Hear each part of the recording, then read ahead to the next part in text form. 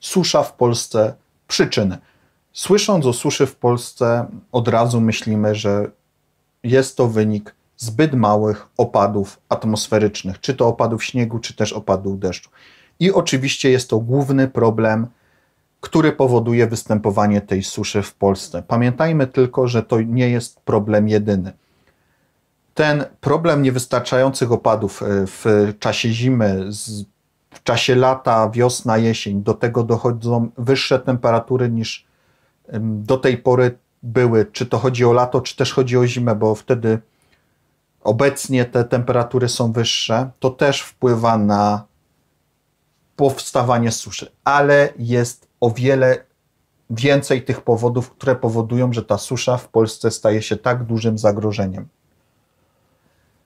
Bardzo ważnym powodem jest błędna gospodarka wodna. Y, nie ma po prostu w odpowiedni sposób dbania o to, jak zachodzi ta retencja, czyli zatrzymywanie się wody. Zamiast zapobiegać szybkiemu odpływowi mm, tej wody do morza, przeprowadza się nadal regulacje rzek, strumieni. Mm, pamiętajmy, że te rzeki nieuregulowane, nieprostowane, jak to niektórzy mówią, o wiele wolniej odprowadzają tą wodę do morza. Y, te brzegi, meandrujące rzeki, naturalne, bardziej naturalne rzeki, jeziora, chociaż jezior to raczej tutaj nie mieszajmy, potoki nie odprowadzają tak szybko tej wody w dół, czyli w stronę morza. Musimy, co najważniejsze, dbać o retencję. W jaki sposób ta retencja, to zatrzymywanie wody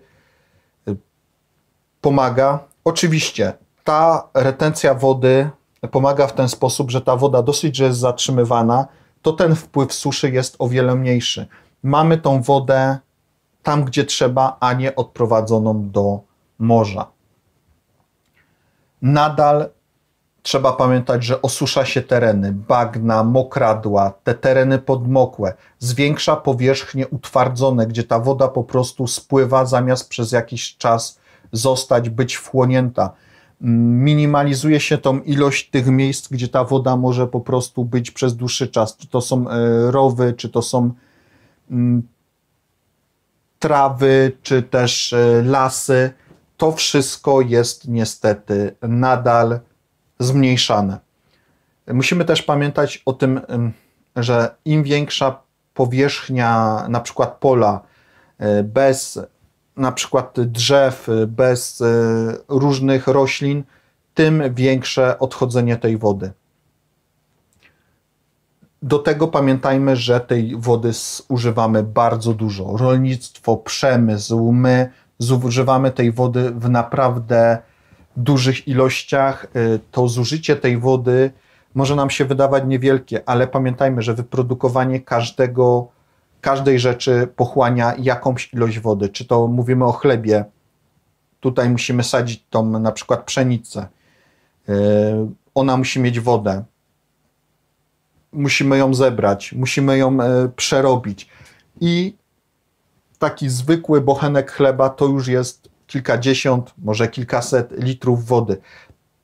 Mięso to samo, to zwierzę musi coś zjeść, e, musi coś wypić ale i my, czy to kąpiąc się, no nie mówię, żeby się nie kąpać, ale po prostu bardzo duża tu kwestia też tego gospodarowania wodą w ten sposób, żeby zużywać jej jak najmniej.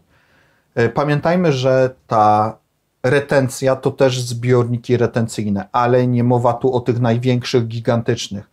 Musimy też myśleć w skali makro, nie tylko makro, ale też mikro, myśleć o tych zbiornikach mniejszych, myśleć o tym, żeby ta retencja wody była na, na jak najlepszym poziomie, nie żeby ona spływała y, od razu do morza, czy też była wykorzystywana nie tam, gdzie trzeba.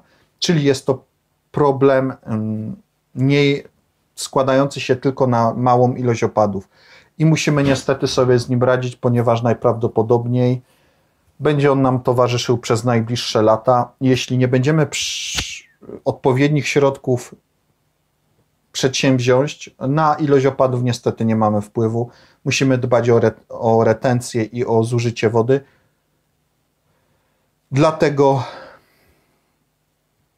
te susze będą coraz powszechniejsze i tylko w naszych rękach to, żeby im zapobiegać, a raczej ograniczać ich szkodliwość. Dziękuję za uwagę.